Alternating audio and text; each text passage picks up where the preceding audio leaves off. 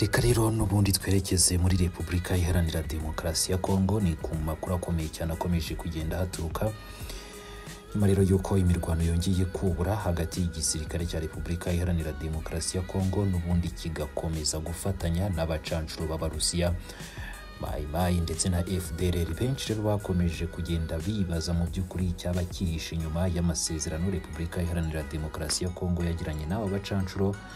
Fdrr ndetse n'izi za mayimayi zose. Hagati aho rero amakuru akomeje kugenda agaragara ku mbuga zitandukanye. Yewe no mu bitangazamakuru binyuranye aragaragaza noneho imishahara ishobora kuba iri guhembwa abo bacancuro mayimayi ndetse na fdrr muri uru rugamba bahanganyemo na m23 kandi nabo bakaba bakomeje gutakaza ubuzima. Ari benshi umunota ku wundi. Reka tudatinze rero tubirebere hamwe gatanu kuri gatanu by'umwihariko muri iyi nkuru yacu turaza no gukurikira umuvugizi wa M23 mu kiganiro kirambuye arasobanura ku rugamba rwifashe ndetse n'uburyo bashaka gufata umujyi wa Goma kubera ko muri uyu mujyi hari benshi bakomeje kwicwa ndetse no gukorerwa iyicarubozo bazira ubwoko bwabo.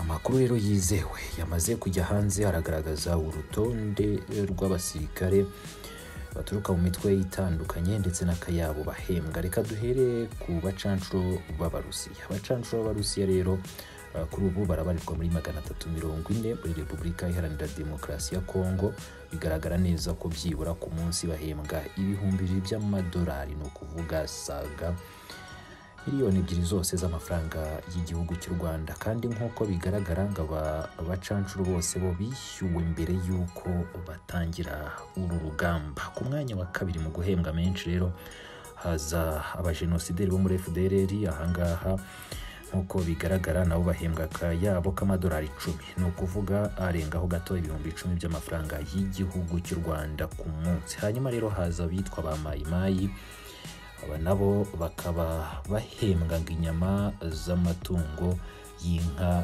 birirwa basahura n'ayo bica ntayorowe rero n'abo mu bwoko bw'abatutsi ndetse n'abavuga ururimi rw'ikinyarwanda mu bice byose bitandukanye baba barwaniramo ayo basahuye rero n'ayo babashije kwica ni cyo gihembo cyabo. Ku mwanya wa nyuma haza igisirikare cya repubulika iharanira demokarasi ya kongo kizwi nka frdc aba nabo buri musirikare ngahembwa akayabo k'amasenti ni ibicugo ni mu mafaranga y'igihugu cy'u rwanda tugenekereje ni magana atatu mirongo itanu yonyine.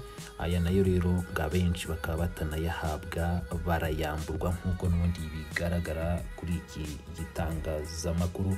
Yewe no ku mbuga nkoranyambaga bikomeje kugenda bigaragara kuko benshi bakomeje kugenda bagaragaza imishahara. Ndetse n'ibikubiye mu masezerano Tshisekedi yagiranye n'aba bose tukivuga rero ku bijyanye n'iyi mishahara reka dukomeze twumva n'uko urugamba ruhagaze. Hariya mu burasirazuba bwa repubulika iharanira demokarasi ya kongo aho aba bose mvuze haruguru. Bahanganye n'inyeshyamba za M23 n'imirwano hagati y'igisirikare cya repubulika iharanira demokarasi ya kongo FARDC n'inyeshyamba zo mu mutwe wa M23 yakomeje kuva mu gitondo cyo kuri uyu wa mbere tariki ya cumi na gatatu ni mu bice bya teritwari ya Masisi ho mu ntara ya Kivu y'Amajyaruguru kuva rero ku wa gatandatu tariki ya cumi na rimwe Gashyantare ibihumbi bibiri na makumyabiri na gatatu M23 ivuga ko FARDC n'abacancuro bakorana na yo ngo bakomeje kurasa ku birindiro byayo bifashishije kajugujugu z'ibitero indege z'intambara ibifaru ndetse n'imbunda z'imizinga. Ni ibitero ngo biri kwibasira ibirindiro by'uriya mutwe mu duce twa kibirizi kishishe kirurirwe kabati ruvunda kinge ndetse n'uduce dutandukanye tubikikije. Gusa rero nawo ukavuga ko ukomeje kwirwanaho ndetse no kurinda abasivile bakomeje kugirwaho ingaruka na biriya bitero bikomeye cyane biri kugabwa na FARDC ifatanyije n'abo bacancuro. Kuri uyu wa mbere rero amakuru aravuga ko imirwano y'impande zombi yakomereje muri segiteri ya Makombo ni segiteri ya Makombo iri hafi ya Kingi. Ni ku ntera y'ibirometero bibarirwa mu icumi byonyine uvuye mu majyaruguru hashyira uburasirazuba bw'umujyi wa Sake. Bikavugwa ko FARDC nyuma yo kurasa kuri M23 ngo yaba yaratangiye gusatira ibirindiro by'uriya mutwe biri muri grupoma ya Kayembe. Ni muri sheferi ya Bashari. Andi makuru. Aravuga ko ingabo za Kongo Kinshasa n'abari kuzifasha ku rugamba. Kuva ku cyumweru ngo bigaruriye ibirindiro bibiri bifite icyo bivuze cyane. Muri ruriya rugamba M23 yaherukaga kwigarurira ahitwa Makombo ni ku kilometero kimwe cyonyine uvuye Kingi. Umuvugizi w'ingabo za M23 ni Major Wiringoma yabwiye itangazamakuru ko amakuru y'uko uh, hari uduce FARDC yaba yabambuye ngo ntabwo ari ukuri. Yavuze ko ihuriro ry'ingabo za guverinoma ngo nta bushobozi na buke rifite byo kwambura na santimetero imwe yonyine rukumbi ziriya ngabo za M23. Major Ngoma yavuze ko M23 ifite ingabo z'umwuga bityo ko rero zigomba gukomeza kwirwanaho mu buryo bwa kimwuga. Ni ku rundi ruhande rero abakongomani ku mbuga nkoranyambaga nabo bakomeje gucinya akadiho bavuga ko ngo igisirikare cyabo cya FARDC ngo mu bushobozi buhambaye n'amafaranga menshi ngo bamaze kugura imodoka z'intambara mirongo itanu ni imodoka z'abanyamerika ariko nanone ngo zikorerwa mu bihugu bya afurika y'epfo dore ko nabo ngo bahafite ibyicaro by'izo nganda. Rero ngo izo modoka mirongo itanu na zo zamaze kugera ku butaka bwa repubulika iharanira demokarasi ya kongo. Ntibanatinya rero uh, guhera kuri ayo makuru ngo bateguza igisirikare cya M23 ngo gutangira kuba kizinga.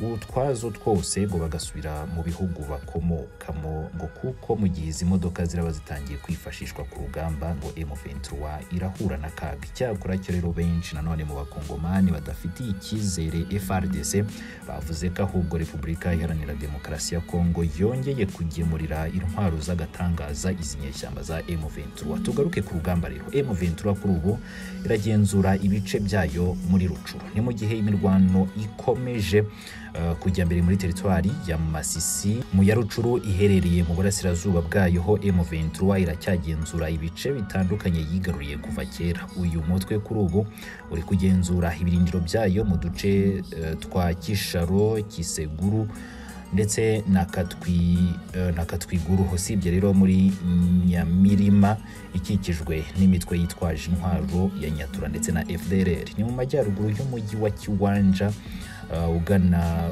ku kiraro cya Mabenga ho kuri ubu rero nta mirwano iri kuhabera. Ni muri za grupoma za Kibumba na Buhumba muri teritwari ya Nyiragongo iri mu majyaruguru y'umujyi wa Goma ho kuri ubu ngo haragenzurwa n'ingabo za Kenya zigaragara cyane muri Kibumba.